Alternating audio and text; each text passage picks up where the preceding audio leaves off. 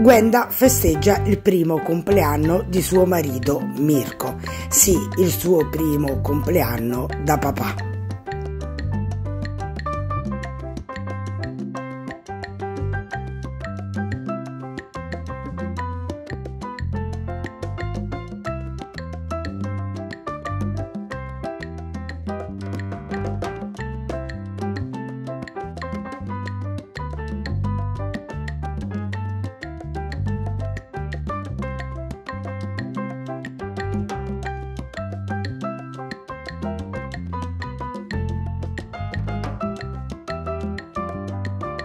Una grande emozione per Mirko che festeggia il suo primo compleanno da papà. Tanti tanti auguri.